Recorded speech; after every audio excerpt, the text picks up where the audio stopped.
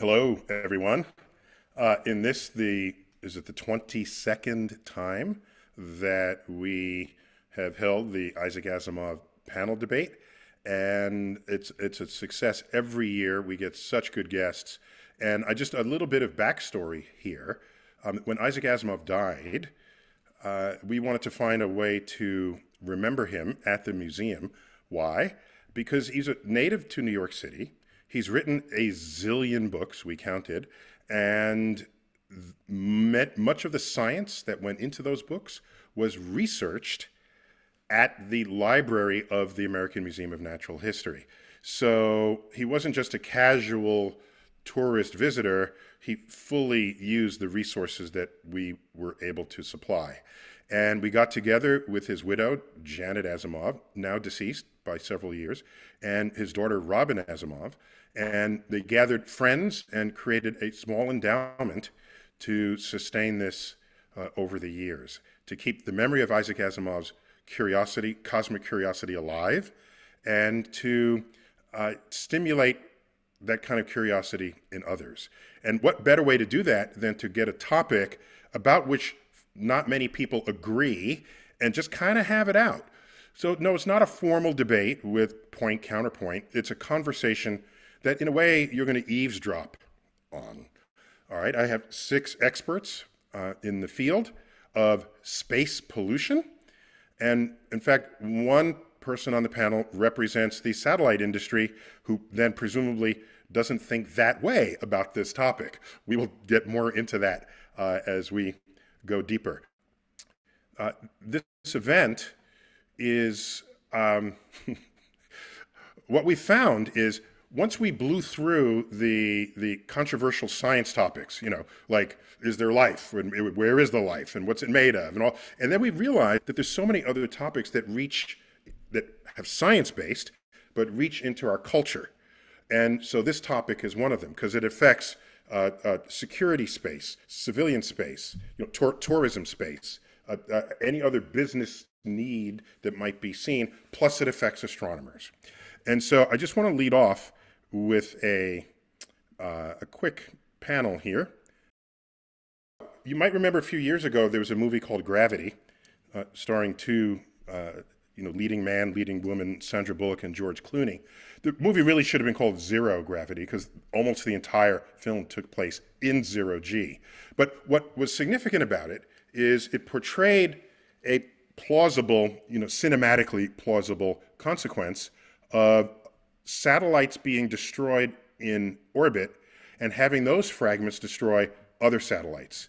And I saw this when it was first released in IMAX, and it was just terrifying terrifying because every fragment that comes off of a destroyed satellite becomes a projectile, putting other satellites at risk. And so there's a paper, there are many papers, but uh, one published recently that wants to think about this problem. Okay, this is a just a video from the NASA Orbital Debris Office. What you see here is this is from a few years ago. Actually, this number is probably manifold greater, but this is a tracking of debris particles in orbit around the Earth.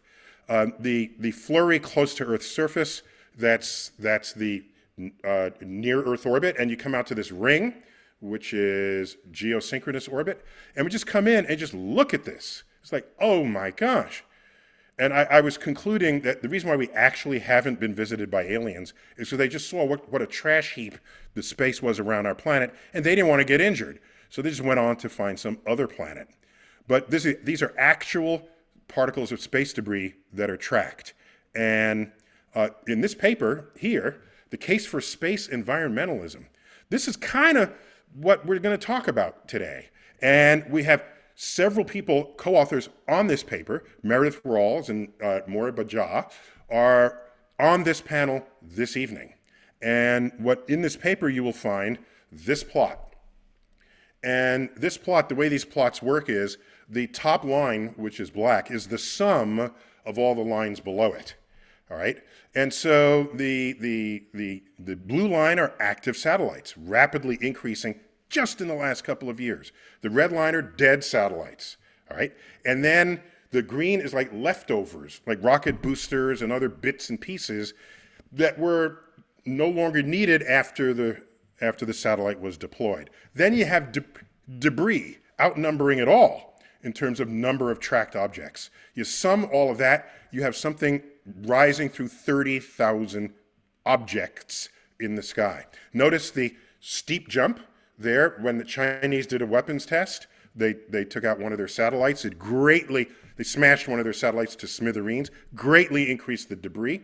Um, and uh, there was another one, there was a collision between two satellites. There's another abrupt jump. So we're going to talk about all of this. Oh, by the way, 60 years ago, there was like three satellites, in, whatever the number was. Sputnik was 1957. And so to go from a few 60 years ago to tens of thousands is just scary. I mean, maybe it's great because we're, we're becoming spacefaring, but really, uh, it's kind of scary when you think about it. And so let's go straight in here. So I want to just go, um, we'll meet each panelist as I address them with various comments. So let's first go to Moriba Jah. Moriba, um, welcome to the Asimov panel. Uh, you, you are on the faculty at the University of Texas at Austin in their aerospace uh, engineering uh, department, and you have special interest in space debris. And that's you know is that on your business card debris? It sounds like actually know. it's it's space garbage man. That's what's on my business yeah exactly. that's what you are. Okay. I'm, I'm, sorry. Yeah that that's even less flattering. Okay mr garbage man um, in space. But you, you you have special interest in that. And because of that special interest you have certain um, other you wear other hats related to space security and other interesting parties so i'm just curious you have just a comment to begin us with based on your background? I mean, look, we we we started by launching satellites in 1957 with Sputnik, and we currently track 50,000 things ranging in size from the cell phone to the space station, out of which only 5,000 work and everything else is garbage. So it sounds like we have a problem. Houston, we have no Earth. We have a problem. Yes. Um, so, tell, could you just start us off? Um, could you distinguish for for us uh, between low Earth orbit, middle Earth orbit, and geosynchronous orbit. With LEO, MEO, and GEO, it sounds like a triplets. Um, so, uh, what they, why do they matter in terms in the conversations we're having? Yeah. So, look, we don't want to just launch satellites randomly in space. We we have specific purposes for these things, and so things in low Earth orbit, mostly things like global internet with the Starlink satellites, OneWeb you know, that sort of stuff, and Earth observation satellites that are useful for uh, weather monitoring and climate change monitoring and these sorts of things. Mid Earth orbit. So LEO goes all the way up to about 1,200 kilometers of altitude. Mid Earth orbit satellite takes about 12 hours to go around once in its orbit. That's a place where we have global navigation satellite systems like global positioning system, that sort of thing. Things that we use on our cell so phone. GPS. Yeah, GPS, right? GPS, like, global, yeah, GPS. Exactly, right? You know, the blue dots on the cell phone that tell us where we're located and that sort of thing. And then geo, these are things that take about 24 hours, uh, which kind of coincides with what people associate with a day. Um, that's where we have communication satellites, uh, and that's about 36,000 kilometers of altitude.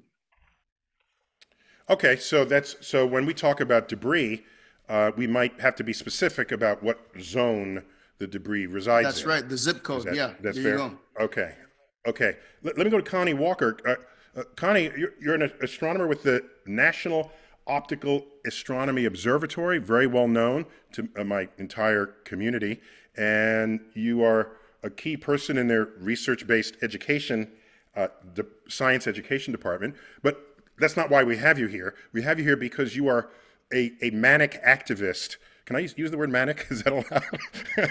manic activist with. Sure. Uh, I'm glad. Uh, a manic activist with the International Dark Sky Association. Now, I have a, just to tell you how how how activists they are.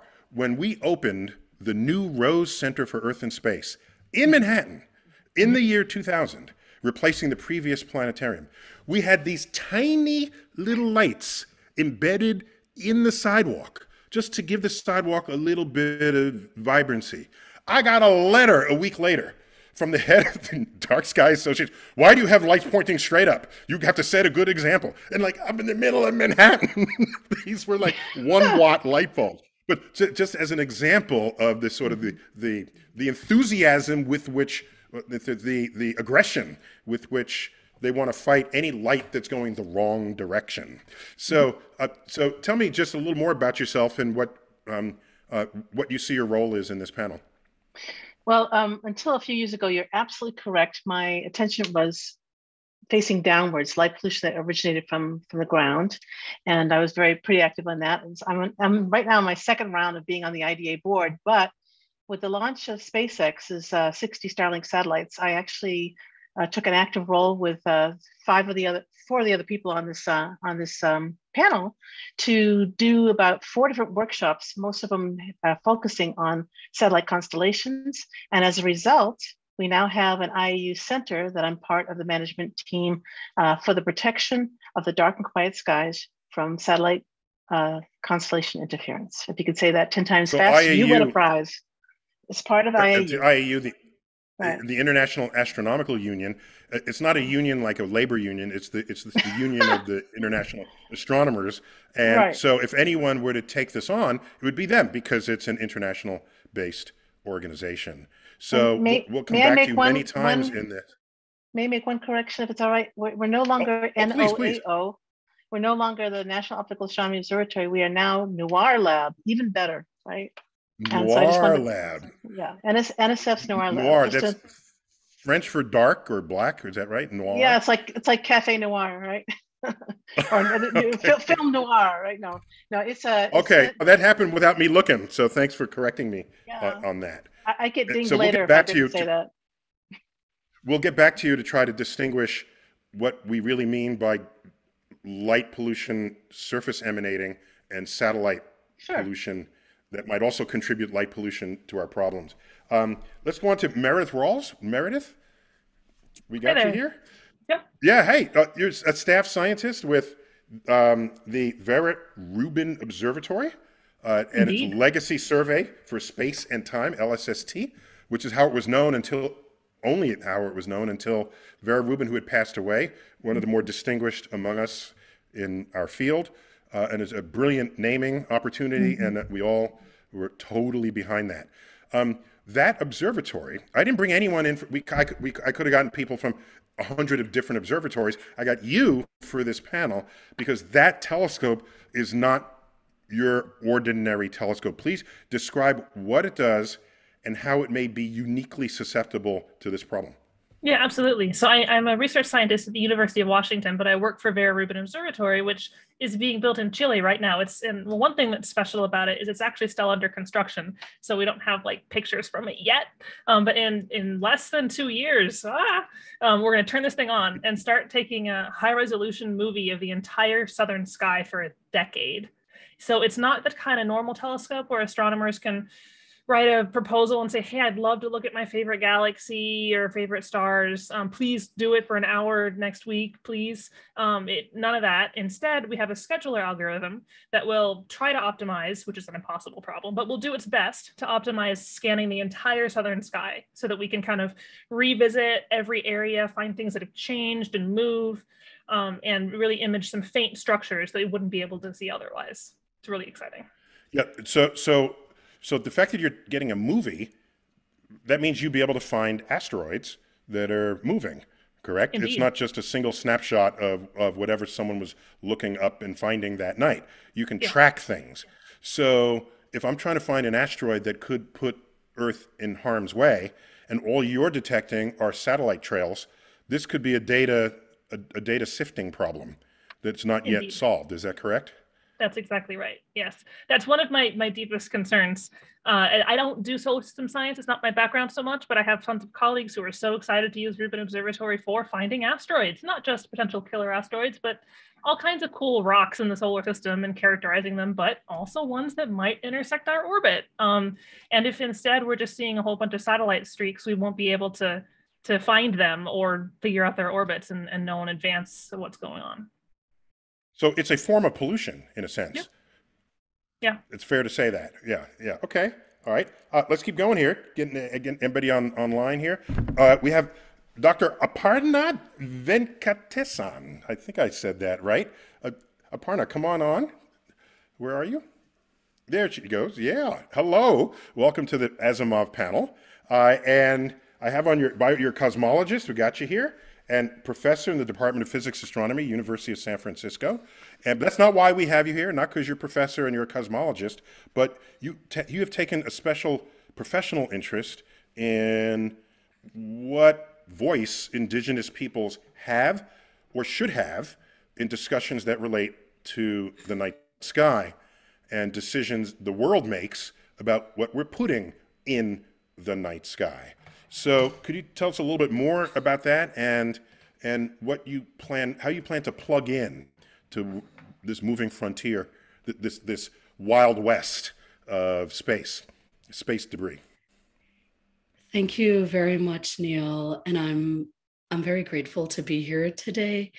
Um, and I also am grateful for this group of people, many of whom I'm already working with. It has really been a career privilege. So thank you. Um, I just want to briefly acknowledge those whose ancestral homelands I live and work on the Coast Miwok and Ohlone of Northern California, and the traditional custodians of the land, water, and skies, where each of you are. So I'm sure we'll get to expand on some of these ideas over the course of this event.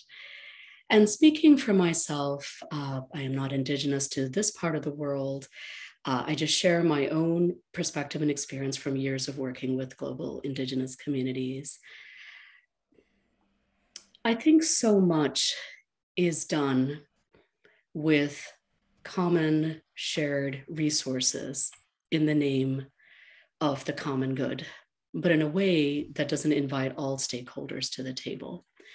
And I think that's particularly important right now because we're really at an existential crossroads, not just for the planet, but also for space. There are so many competing interests and so many competing concerns. And I'm sure we'll get to amplify many of the points. But I want to start out with something that we all know which is we are ancient, either through the exciting journey our atoms have had for 14 billion years and through our millennia old relationship with the sky.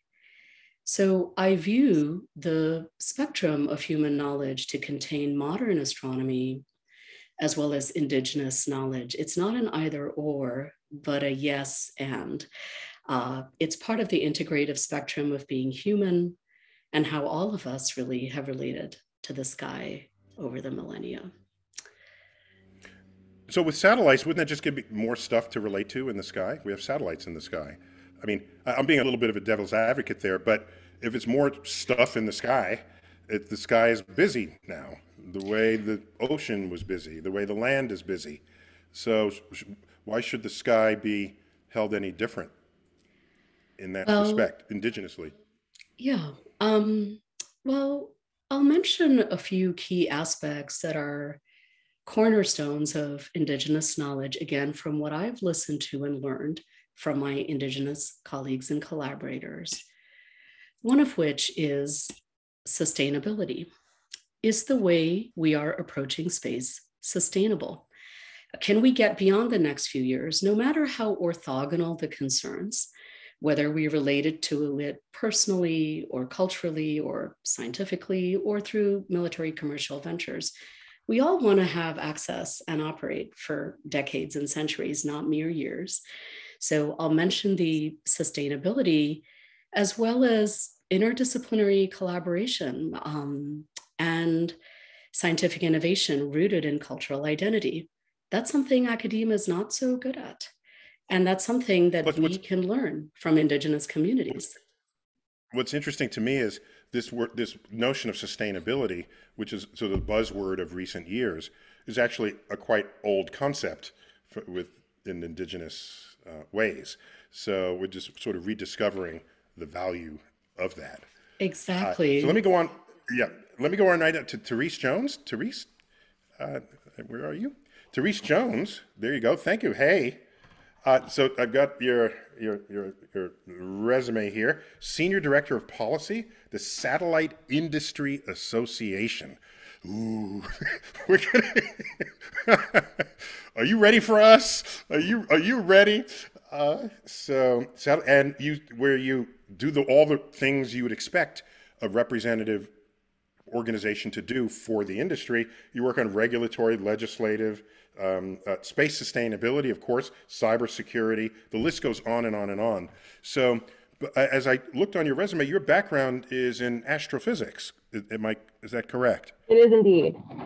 Okay, so what happened where you crossed over? well, I, I, was looking for uh, viable jobs, and the space industry is rapidly growing. Um, and a lot of the skills that are utilized in astrophysics are also great for the space industry as well. Okay, and so do you, so do you have a soft spot for all of the crying astronomers that are out there, knowing that the space, the Satellite Industry Association has you know quarterly reports, annually annual reports as their bottom line? Relative to just what anyone feels like they want the sky to be, either scientifically or indigenously. I certainly do have a soft spot for astronomy and think we need to work together to minimize the impact of satellites on astronomy. I mean, we're in a really exciting time in the space industry, rapid growth. Uh, since I started this job a little over four years ago, the number of satellites on orbit has almost tripled to about 5,000. Um, and there are proposals for tens of thousands of satellites to be launched over the next decade. So massive growth. Yeah, I, I want to get back to you on that very point because I was just wondering how many satellites is enough. but I'll get back to you. I'll get back to you on that. Uh, last and certainly not least among us on this panel of six is uh, Colonel Scott Brodeur. Uh, uh Colonel, welcome to to uh, to the Asimov panel and you. you. are with the U.S. Space Force, uh, formerly with the U.S. Air Force. You're a colonel, uh, actually scheduled to retire in October, so you become a regular civilian uh, at that point. But I'm looking at your resume; it's got all the key words in it. It's like if there was like security space bingo, you get it. Like okay, Joint Space Operations Center, Combined Space Operations, National Space Defense, Mission Partner, Intelligence. Uh, all it's all there and so, uh, please tell us what what is the environment of space today that it wasn't back when back in the old days two years ago before we had a space force. Yeah, sure. The uh, the most interesting part that uh, we, I've seen, at least throughout my career, is the transition from a peaceful, benign environment to a contested environment from our adversaries. So, looking at it through a military lens, we've seen um, an increased amount of counter space capabilities that ultimately are debris causing and kinetic. And so, from uh, as as everyone's aware of uh, the vice president's uh, commitment to not doing debris causing uh, anti satellite tests, that's a step in the right direction because we've seen, as you mentioned in the opening charts, um, the kinetic test from China back in 2007, you know, they weren't they weren't quite a, a counter space power at that point. You could almost forgive them, uh, as as hard as that is to say, for doing that. But what happened in November with the Russian test was pretty inexcusable. It's clearly a message, an irresponsible message. But those type of events have to stop, and we just can't we can't have that type of debris on orbit because you know, believe it or not, the space debris and space sustainability are just as important to our everyday way of life as it is to our national security. So we keep uh, we keep an eye on those objects, and as as you know, many of those things are not trackable. And so we talk a lot about what we think is in space. That's just what we can track. And so there's a lot of exponentially uh, more things that uh, we aren't tracking as easily uh, or as frequently uh, or at all. And so those things are affecting all of those orbital regimes that Dr. Jah talked about. Uh, what are, can you distinguish for us the difference between you protecting, you know, uh, military uh, conceived satellites, either the military version of the GPS plus spy satellites, that sort of thing. But we have satellites that represent a huge, a huge fraction of our business sector that enables them, empowers them to do their work.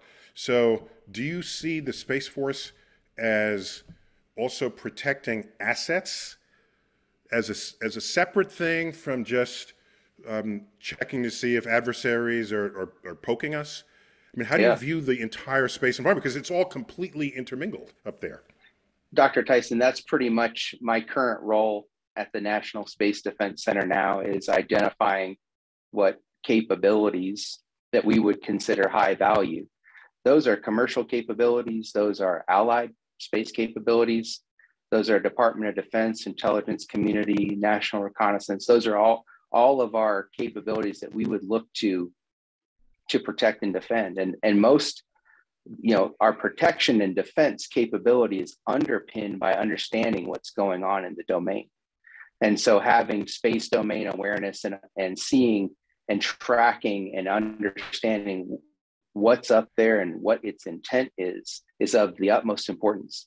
When we talk through the problem set of debris and just more things on orbit, it complicates those solutions. It complicates our ability to maintain awareness of what's going on. And that's not just for military purposes, that's also for safety of flight. And, and there's humans in space. And we want to make sure that um, we're not doing things and not losing awareness of the most critical conjunctions um, that are exacerbated by debris.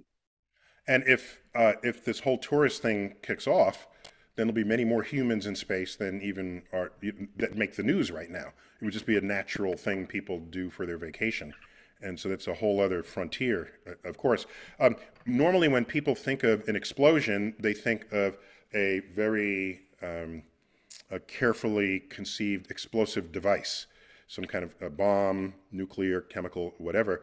When you describe a kinetic uh, uh, attack on a satellite. Could you just could you say exactly what that is relative to how we might be thinking of a detonation?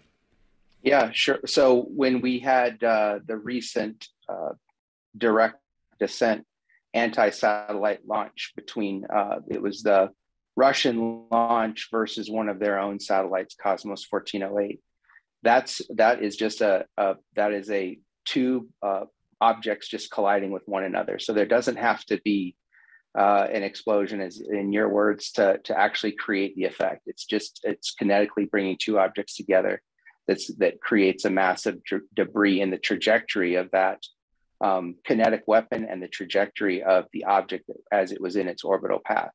And so for years, there will be debris along that, that path of travel. And so depending on where these collisions happen, like the Iridium uh, Cosmos uh, event that you mentioned that was in 2009, or even the Fengyun and the Chinese ASAT, those two events created huge uh, debris patterns within their uh, orbital paths that will affect the other satellites and capabilities in the vicinity for years and years to come. The lower the lower you are in altitude, the more uh, apt the, the debris will be to burn into the atmosphere. But those events that happen at higher altitudes tend to remain on orbit for for decades.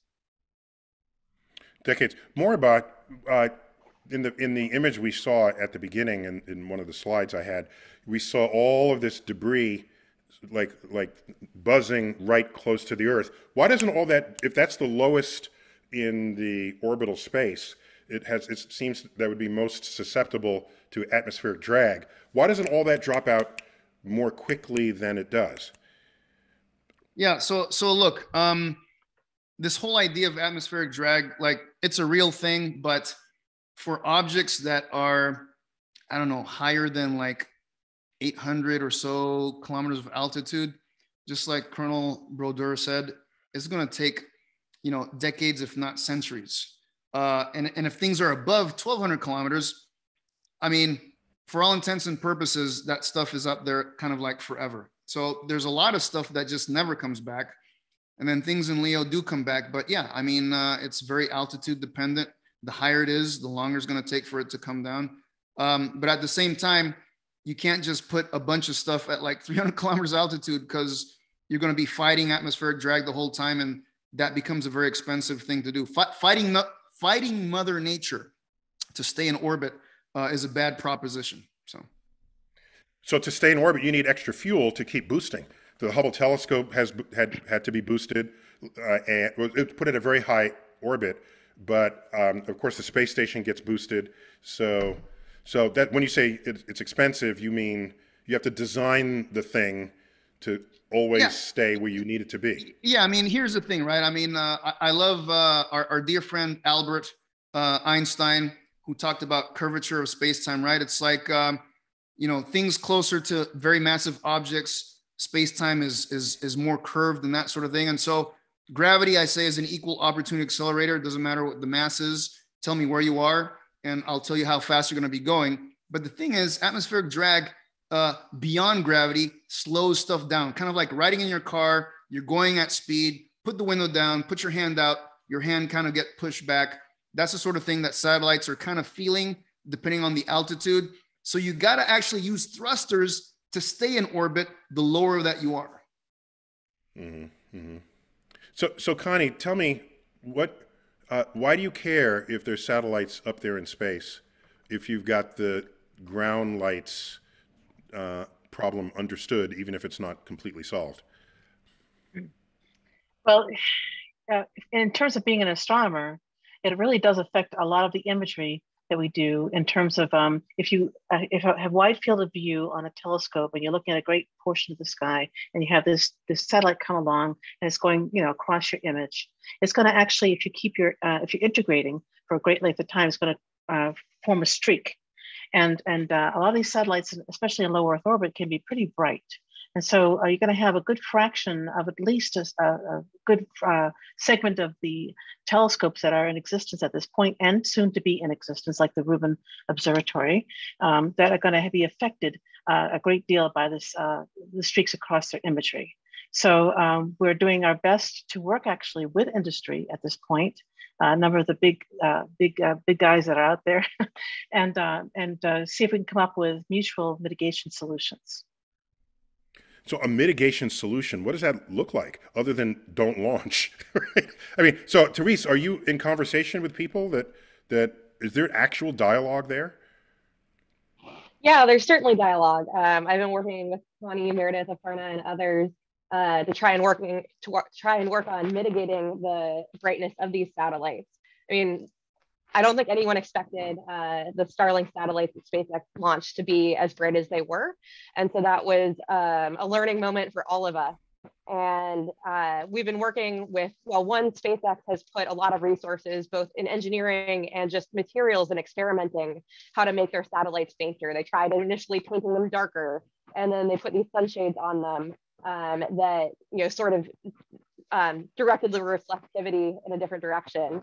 Um, and I've launched them at a knife edge so they're less reflective um, directly back down to Earth. But they've been experimenting and working with astronomers to get better data on what makes these satellites fainter um, and try to decrease them so they're not a problem for these wide field observatories, or at least less of a problem. And now we're working with other companies across industry to try and implement some of the same lessons learned from SpaceX and hoping that everyone can sort of take these lessons learned and implement them as they're designing satellites. Neil, You know what that reminds me of? Um, we, uh, Tucson, Arizona, uh, one- of the cl- the closest town to Kitt Peak National Observatory. Uh, uh, Connie, tell us about what the the agreement that occurred between the astronomers and the municipal leaders of Tucson, Arizona.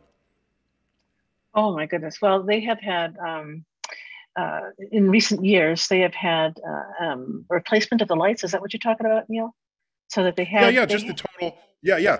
I mean, they, they have they have ordinances that other cities emulate that's right. to Oh, okay. So accomplish that's what no. Go ahead. In 2012, I think uh, initially and even earlier, they had uh, extreme, uh, wonderful uh, ordinances put in place because they're only about 65 miles from the National Observatory uh, on Kitt Peak, and uh, and so uh, by putting these into into fruition, uh, they actually set an example for the world uh, to be able to do things like that as well. And another dark sky city also in Arizona is Flagstaff, and they've done something similar as well. And they're very um, aware. People in Tucson are, are, very aware, and they have, for the most part, uh, downward facing lights, lights that are fu- fully shielded, so that the, the light basically goes where it's needed, not where it's do- is not needed. And uh, you know, if you combine that with other factors like only keeping them on when you need them and placing them only where you need them, then you're looking at a fairly dark sky city. And Tucson tries to do that. So Arpana, so that's evidence that people can cooperate. Mhm.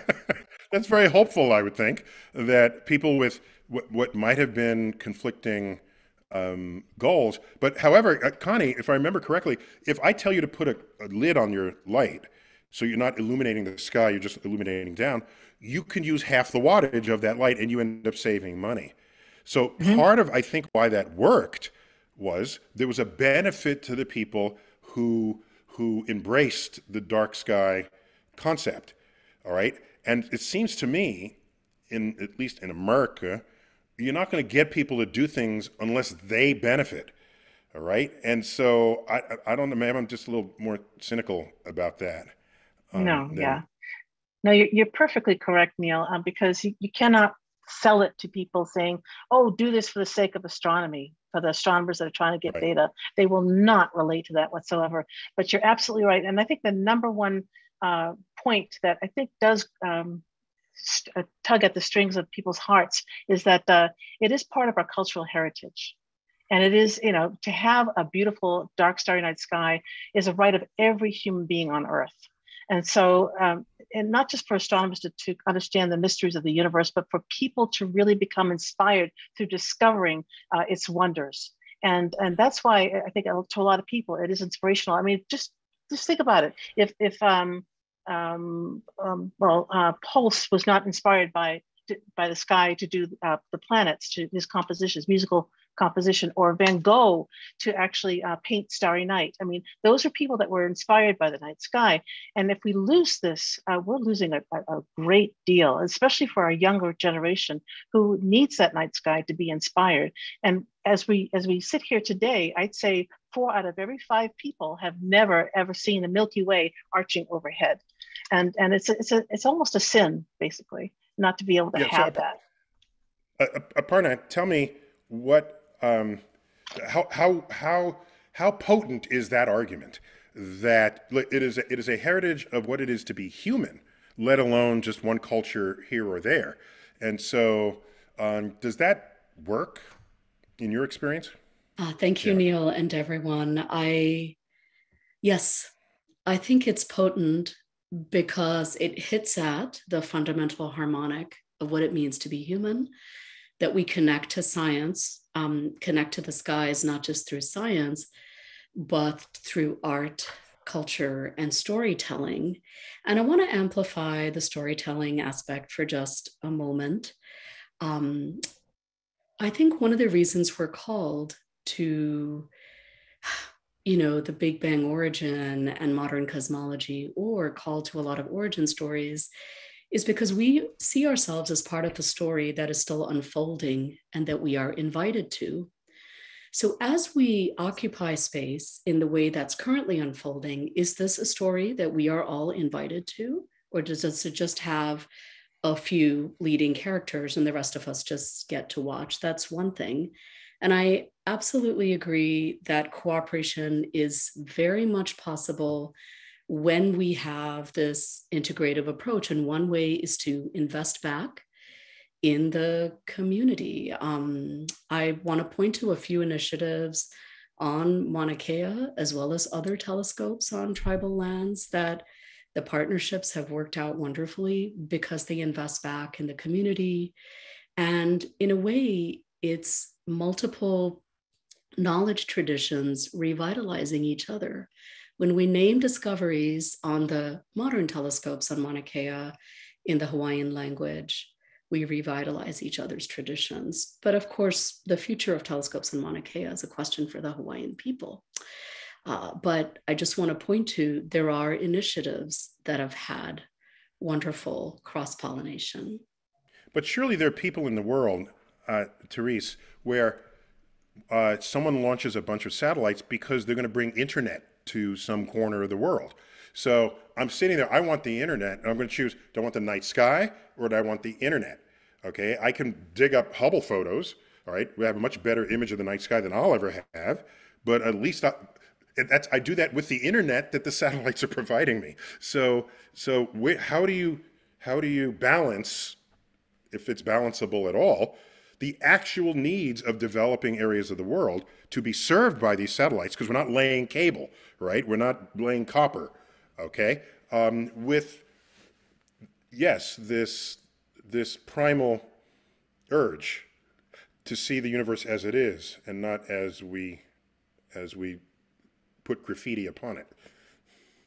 I, I think that's a great question that we're still trying to figure out the answer to. Um, you know, in talking to Indigenous people across the world, I don't think there's been, you know, a monolithic response to that.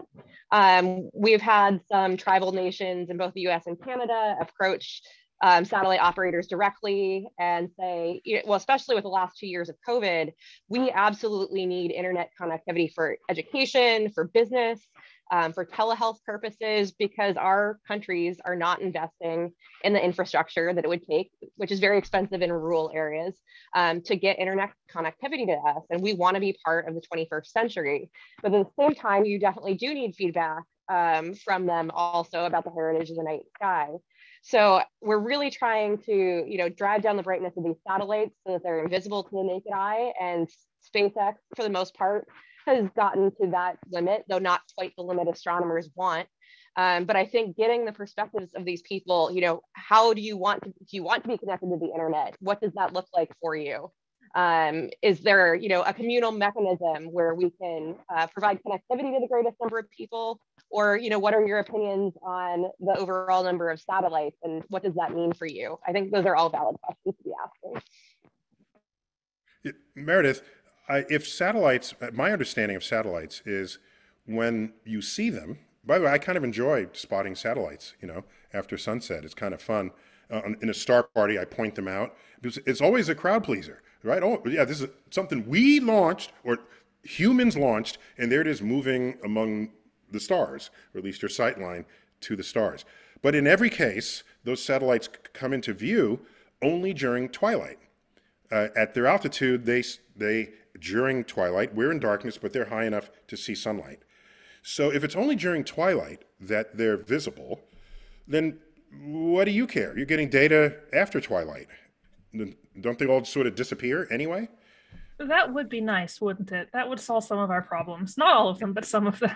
Unfortunately, uh, many of the satellites are visible all night long. You're correct that the majority, um, you see the most closest to twilight because they're not yet um, in Earth's shadow. But there are some, especially depending on their altitude. If they're a little bit higher up, they're visible for a longer period of the night. If they're a little bit lower down, they're visible for a shorter period of the night. So, but it's also a function of latitude. If you're at a high, if your observatory or you are at a higher latitude, um, then that effect, the difference is less pronounced.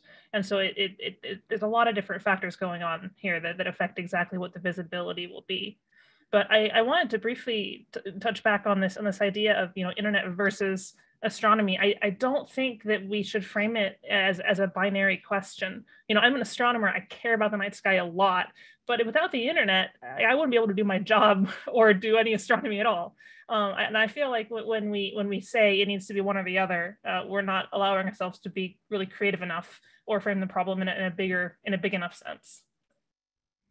Yeah and that's true for so many points of conflict in today's society as well uh, so that's a little it's a little scary when people do choose sides and then no one is in the middle talking about how to resolve both, right? They just want to win the argument, and and and at that point, really, at the end of the day, nobody wins.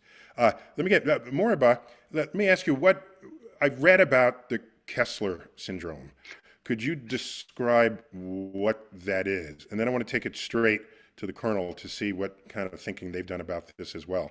And am I correct to read, because they didn't use the term, in the movie Gravity, they basically portrayed the Kessler syndrome with the total destruction, 100% destruction of all satellites in orbit.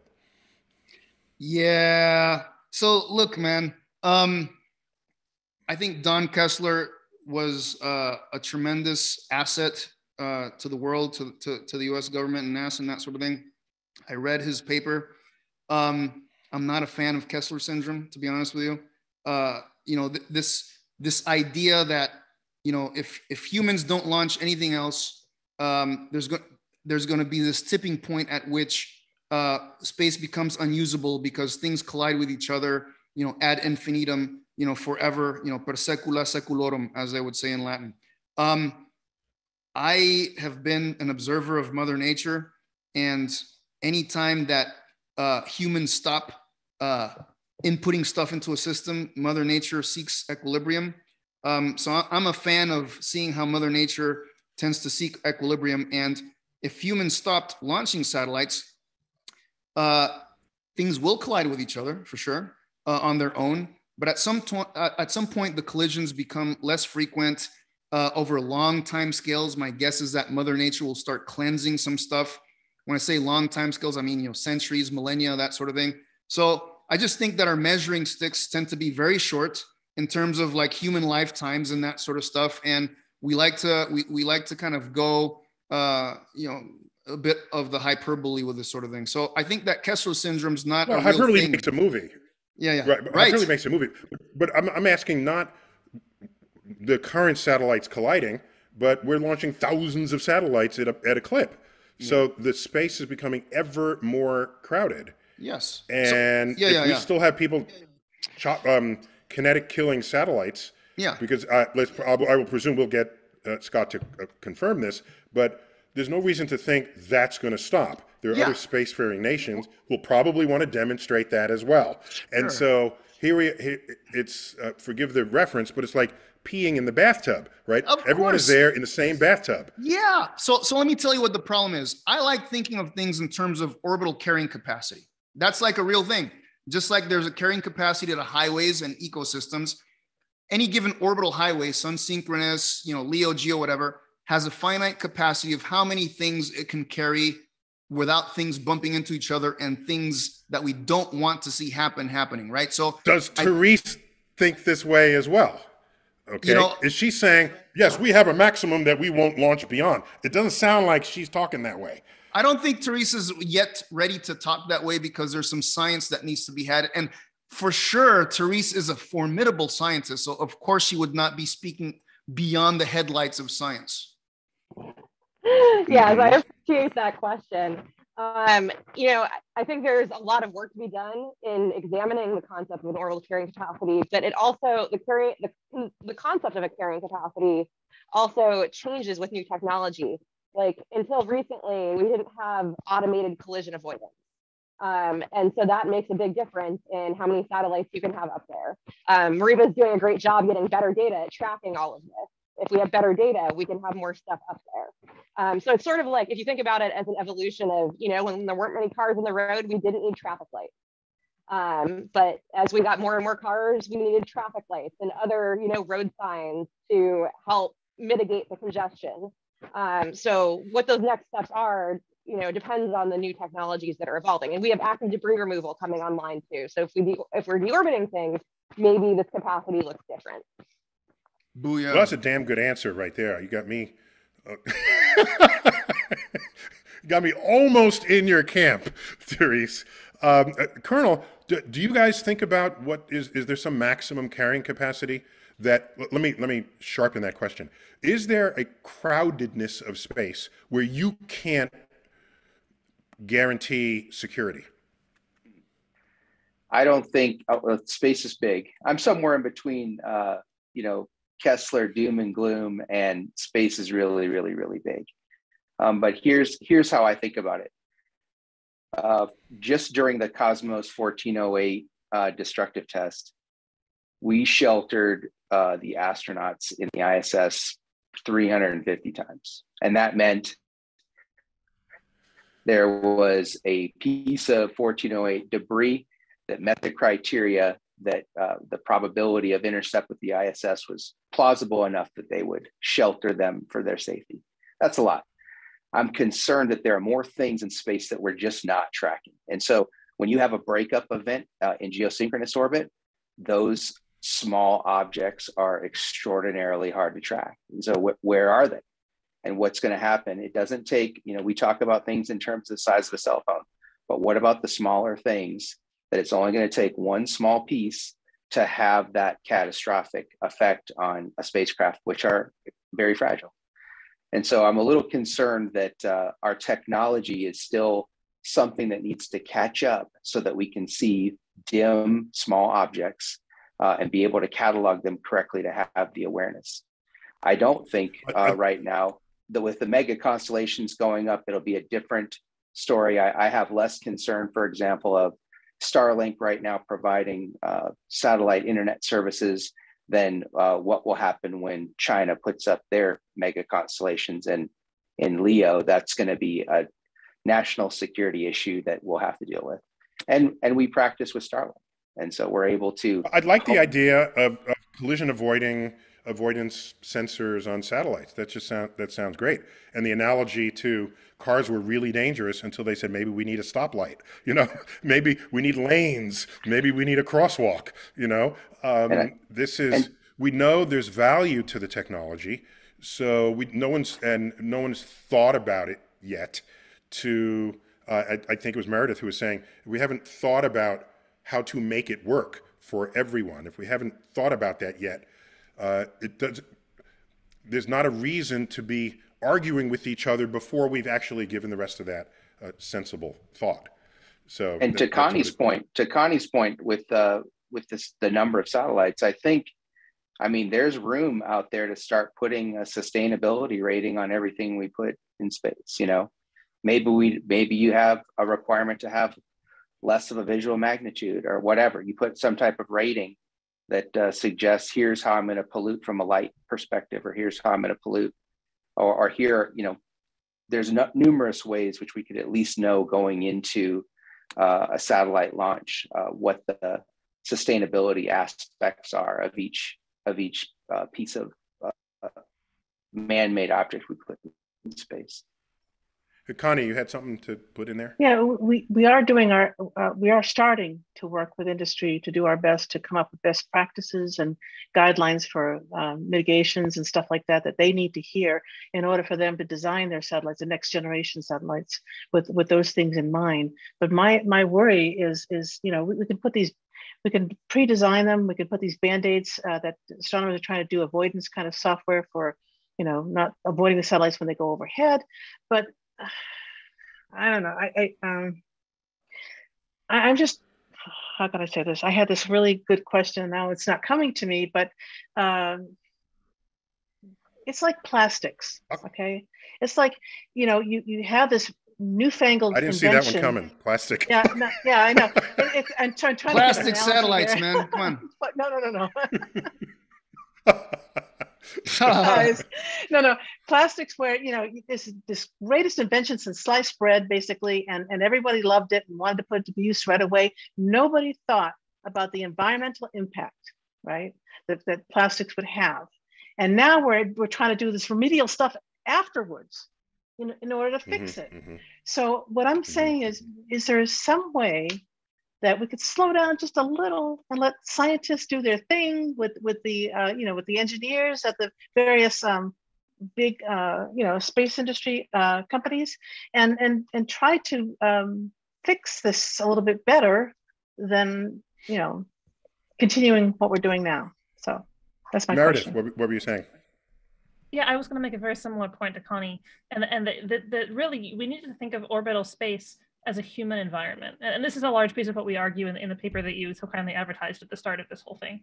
Um, and and and that is is exact the plastics in the ocean or plastics in general is a, is a wonderful analogy for this. I feel like the carrying capacity argument is kind of like saying, okay, but like how many plastic cups can we put in the ocean like before the fish die?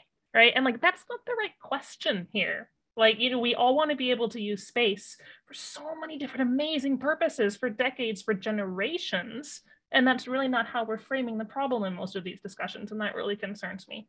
I think we need to consider the, the uh, cumulative effects when like, you know, a few satellites are launched, that's fine. A few more, yeah, no problem. But then suddenly it's like hundreds of thousands and we're in a totally different regime. That, that's what concerns me. Uh, forgive me how my brain is wired because I spent so much time sitting next to a professional comedian.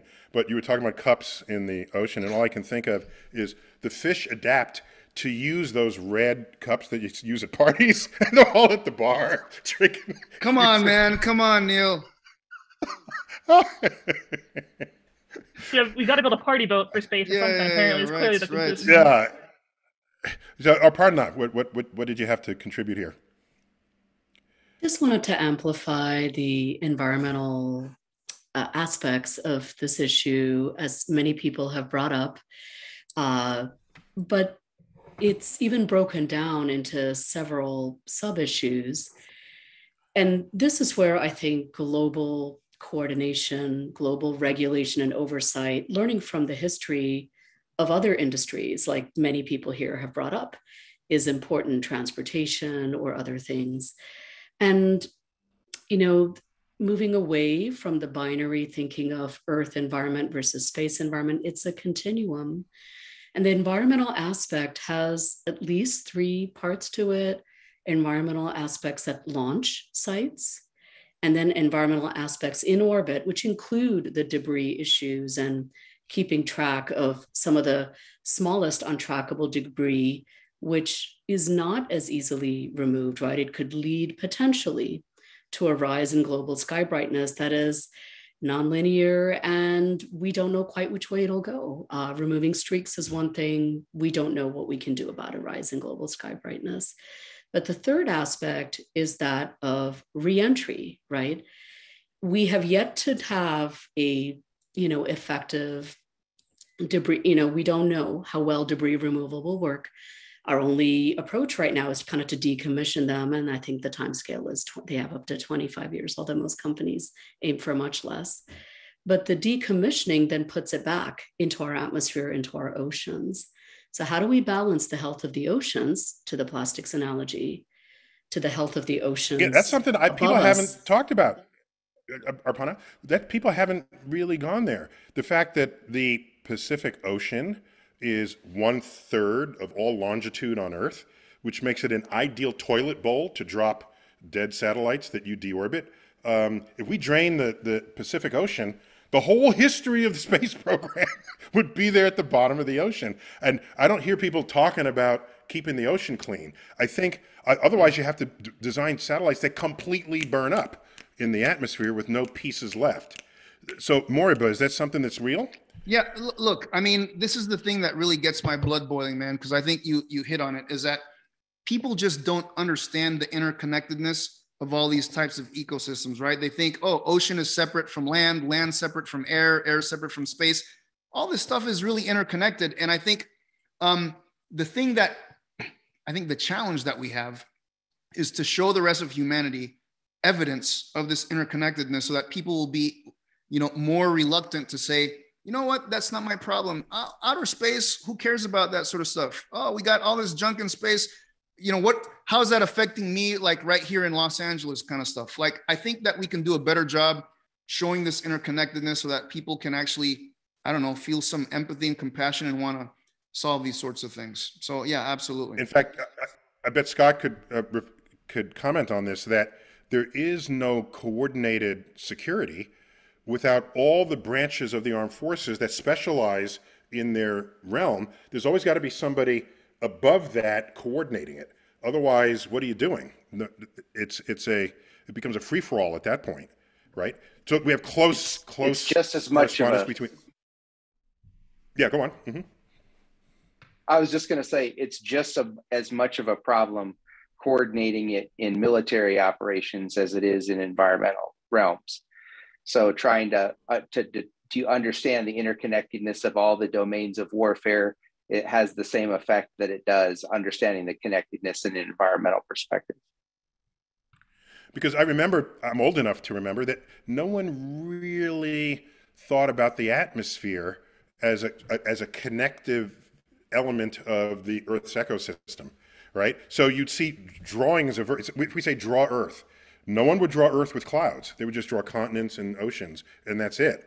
And then when NOAA was founded in 1970, National Oceanic and Atmospheric Administration, it was like, oh my gosh, ocean and atmosphere in the same phrase.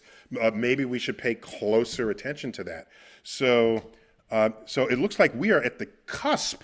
Uh, the cusp. That's very, very positive. Maybe it's not that positive. We're at the front door of having to think that way about this problem. That we all agree on that? Now, Ooh, yeah. now let me ask you, uh, Colonel, you're, you're military and you want to make things safe for everybody. Why don't you all figure out a way to, to scoop up all the debris? Why not? can, can we make that a, an, objective of the Space Force going forward? Now that that's your domain? I'm all about cleaning up uh, the space debris, but what, and, and I think from a Space Force and Space Command perspective, what we're working through is how to incentivize industry to do that. And so, how do we get uh, enough profit out there so that a company would be incentivized to go out and try to clean this up? Or how do we regulate such that there would be an incentive to, to build a capability? What we run into uh, problematic. That's especially true. That that's they'll totally buy into that if it also means they can conduct safer business in space, right? That's that uh, um, self benefit from thinking altruistically. Yeah. But from a military perspective, anything that we could build that would be beneficial to cleaning something up would automatically have a dual use connotation. And we do it with Chinese capability as well that has a grappling arm technology. So if you built something that could reach out and grab something, it would immediately be perceived as a counter space threat. And so coming from um, industry, seeing things like a mission extension vehicle from Northrop and others that are able to uh, extend the life of satellites, those those things need to be incentivized. And you know, having something that can go out and clean up debris in low Earth orbit, um, I, I, would support wholeheartedly uh, industry taking on those, and I would I would be very supportive of us as a nation incentivizing, and as with allies and partners as well, to get more people on board with doing that. Just to be clear, when you say um, dual use, you mean whatever was the intended use to fix up, mend, remove. Dual use would mean it could be used for uh, uh, aggress- aggressive uh, uh intent with aggressive intent. Is that yeah, what, you, that's saw, what you mean by dual use? We saw two capabilities out of China, the SJ-17 and SJ-21. Those both had robotic arm, uh, or both have robotic arm technology on them. Uh, they could just as easily make a repair on a satellite or um, do some on-orbit maintenance as they could remove a solar panel off of an adversary's satellite or grapple them uh, and prevent them from doing their mission. And so there is a military uh, civilian dual use dichotomy that if the US government invests in such technology, it could be perceived as having a nefarious or a counter space uh, capability associated with it. And it wouldn't be just uh, labeled or characterized as something that was good for the environment or debris cleaning uh, type of uh, capability. And of course, that's what you're paid to do to recognize how something could be used in, in a threatening way. Uh, I'm reminded at this moment of the 1967 Space Treaty, uh, a treaty for the for the peaceful. It's, it's got some long title that I always forget. The peaceful use of outer space or something, and it was signed by spacefaring nations and aspiring spacefaring nations at the time, the United States included. Let me just ask: Is that does any of that still apply today? That was 55 years ago. Um, I remembered there was a little loophole that said you're allowed to, it said no armament in space, and if someone needs help, you go help them, even if they're your adversary. It was very kumbaya. It was very like United Nations 1960s, okay? It, it's written all over it. But there was a little loophole there that said you can defend yourself if necessary. I don't know if those were the exact words, but that was the intent. So is, are, is modern presence in space honoring that space treaty, or we, or is it time for that to be rewritten to, to put it into the 21st century? So I'm, I'm assuming you're asking me, Dr. Tyson.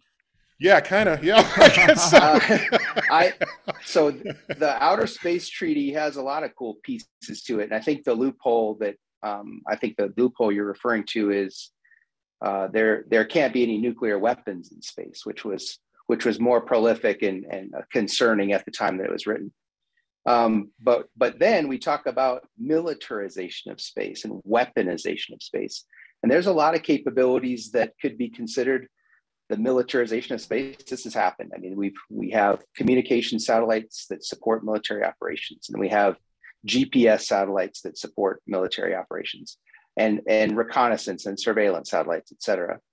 But what we've seen most recently um, is the weaponization of space. And you saw um, just a few years ago uh, a Russian Cosmos launch that that followed closely to a U.S. surveillance satellite, and um, uh, we felt it was an unsafe testing of that kinetic weapon.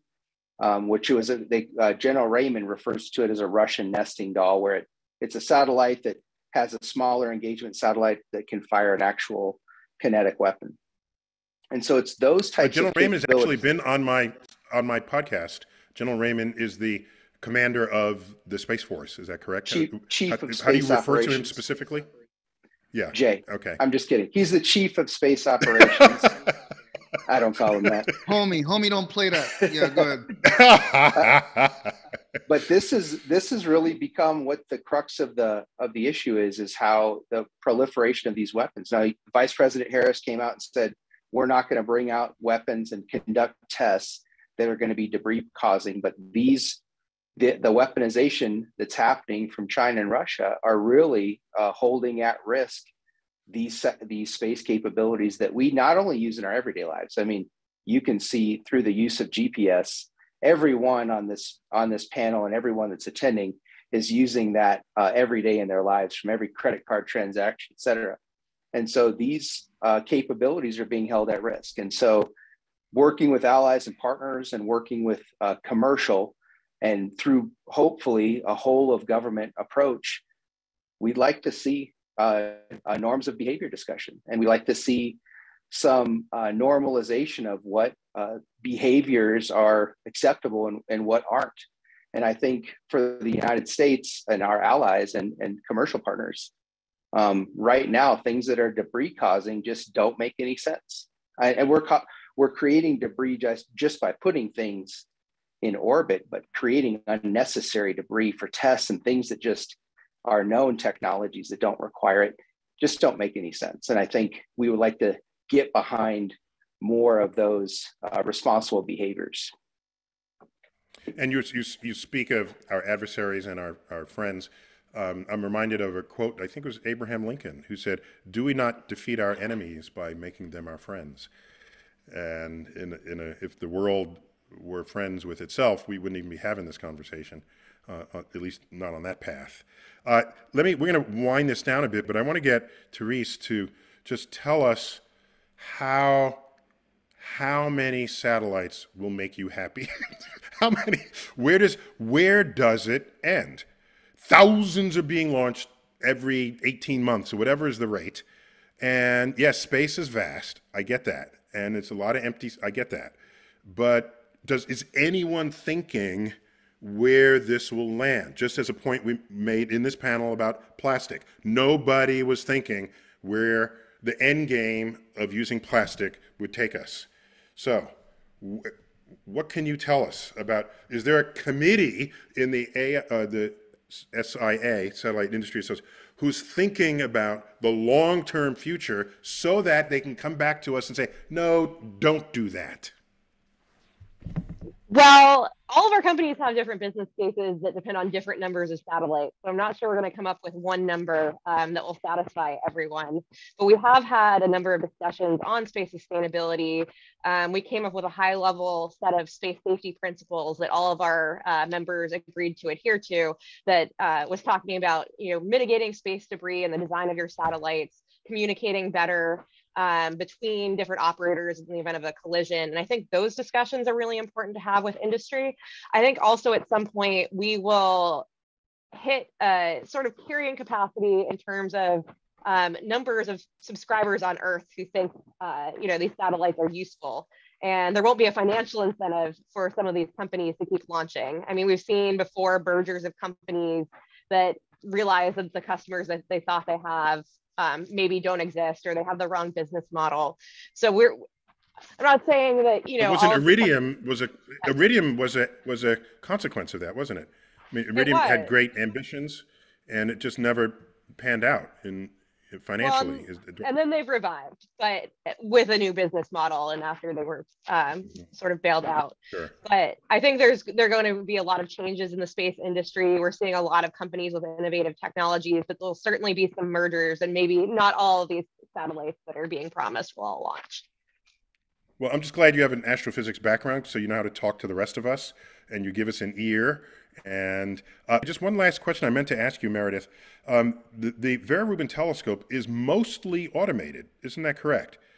Um, and it's it's looking, from what I read, it's it's getting multiple images all the time of the night sky, mm-hmm. and then there's some software that's checking for something that's changed, right? And then it goes back in to follow up on it all by itself. Is that correct? More or less, yeah. Okay, so if it's that much software driven, can't you just get all the launch data from Therese and saying, here is this, this evening's satellites that's going to cross in your sky, and then have the software just take it out and not then have it confused with an asteroid later on? So we're working on a small version of that ish.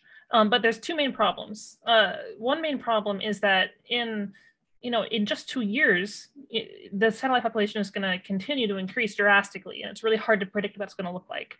So, you know, your your picture of you know the satellites tonight is basically just covered up over the entire sky. You know, there's not like a region you can go to that won't have a satellite in it because the field of view of the telescope is so big. Like there's there's there's literally nowhere to look and still observe the sky if you want to avoid everything. Um, we are. Is that different from airplanes? I mean, airplanes fly into your view as well, right? I, mean, yeah, I don't see you trying not, to say stop air traffic. There's not nearly as many, and we didn't build a telescope by an airport. okay, good answer. Okay. you know, and that, that's but, a real um, problem bumps. here. Is is geographic isolation doesn't fix this problem, right? That's how we get around a lot of other light pollution or airplanes or what have you. Is you build it in the middle of nowhere, and turns out everywhere is you know under where satellites go so we, we are working though to answer your other question we are working on software to identify and like not use the pixels in the streaks that we're going to in- inevitably have in our data kind of to what degree is the current question and you know we're going to do our best to provide data products that are not just full of satellite trash um, but we're going to miss some things you know we're not perfect algorithms aren't perfect and it's really just a, a matter of you know will we accidentally have some discoveries that get you know, announced or published that are, oh, well, just kidding, that's a satellite. Like, sorry, everybody, retract, retract. Um, and, you know, we don't want to spend our time and energy doing that. We, we want to do cool science. And, and so, uh, Connie, I'm just reminded by Meredith's comment that when we build observatories, we find isolated places that are away from light and away from, you know, uh, any other kind of contaminating electromagnetic energy, but you can't build it away from the sky, no matter what no matter okay. what. And I'll just add real quick too that a lot of the uh, trails, you know, at low horizon or the circumpolar sky, they can be maybe taken out for professional astronomy, but but I think with um, real time observations like wayfinding or other cultural practices, we don't have the back correcting software. Now, they may not get as bright as for some of those horizon markers or circumpolar constellations, but but yeah, it is a concern. They've become so numerous. It's hard to get away from them in a typical exposure, whether amateur or professional astronomy. I use the term wayfinding, which uh, became a little more popular after the movie, uh, the Disney film. But uh, the, the wayfinders, it's basically navigation, but not in a traditional, not in the way we think of it, right? It's using nature to find your way around. Very common in the Polynesian uh, uh, folks who went thousands of miles across thousands the ocean. of miles. Yeah, it's non-instrument navigation using the stars, uh, wind and ocean current patterns. So it's extraordinarily subtle and extraordinarily skilled. Um, yeah, yeah. And you start interfering with that, it's a whole cultural collapse right there of a, of a tradition. Well, uh, we, we touched everybody there. More, but you got something to say? Yeah so this whole idea of wayfinding i think it's really good. Um, you know one of the things that we're doing uh, with this whole privateer thing is really in fact we call our app wayfinder because well i meant to ask you that. Wait let me let me actually wait, wait let me just for, you are among others uh, part of a new venture called privateers that is all about this. Just tell just give me a sentence or two about what privateers are. Yeah so so so we we privateers are all about this idea that all things are interconnected and that stewardship is what we need to embrace to uh, to thrive. And so you know how can we aggregate as much data and information as possible to provide humanity with insights about itself so we can stop like hurting ourselves long term and it's focused on space at first but it's really very holistic connecting all these ecosystems that we spoke about and Wayfinder is the main app. And the cool thing that I just want to follow up with a point about this is that, you know, it's all about having a successful conversation with the environment. That's what indigenous people do. That's what we need to do uh, for space exploration and all these things. Well, that's that is so succinctly put, and but I I would say not many succinct things are profound. That was profound, just to even pose it the way you did. It makes us all just pause and think and feel guilty about the plastic cups, among other things.